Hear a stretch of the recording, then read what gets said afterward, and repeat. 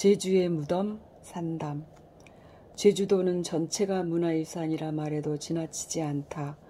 그만큼 조상들의 삶에 대한 흔적들이 곳곳이 남아 있으며 그곳에서 지혜를 엿볼 수가 있고 영혼을 느낄 수가 있다.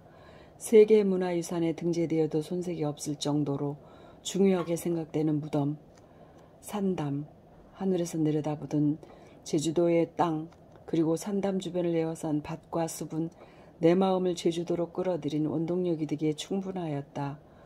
지난 4년간 제주도를 수시로 드나들며 쉽지 않은 자연환경 속에서도 드론 촬영으로 작업을 진행해 왔다. 무덤, 산담을 에워싼 기하학적 자연세계 패턴과 억새숲을 헤집고 다닌 동문들의 흔적, 그리고 후손들이 일구어가는 농작물은 자연과 아름다운 조화를 이루는 생명 그 자체였다.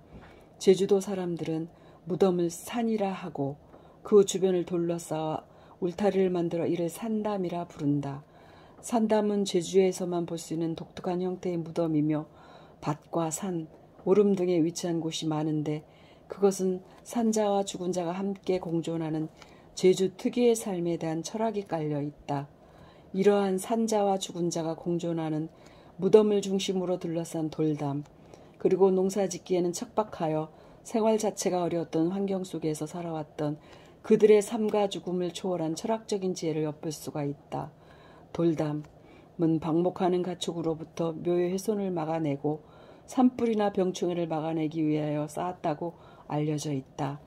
산담은 죽어서도 망자의 홀령이 집으로 돌아오기를 바라는 심은 출입문이 만들어져 있고 출입문 위치는 남자는 오른쪽, 여자는 왼쪽으로 있다.